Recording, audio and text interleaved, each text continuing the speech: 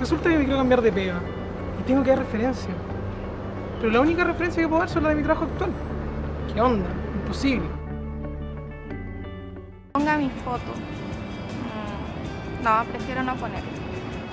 Que ponga dirección. No, prefiero no ponerlo. Que ponga referencia. ¿Quién me podría dar referencia a mí si no he necesito hacer un currículum. ¿A quién le puedo preguntar? Ya estoy a tiempo de mejorar mi carga laboral. Quiero postular a un nuevo cargo en mi empresa. Si no me resulta, buscaré por fuera. Para eso necesito un currículum potente, que me abra puertas. Me acuerdo cuando tuve que hacer mi primer currículum. Todo mal. De verdad no sabía qué poner. Y más encima te piden experiencia laboral y vienes recién saliendo. O sea, ¿qué pones?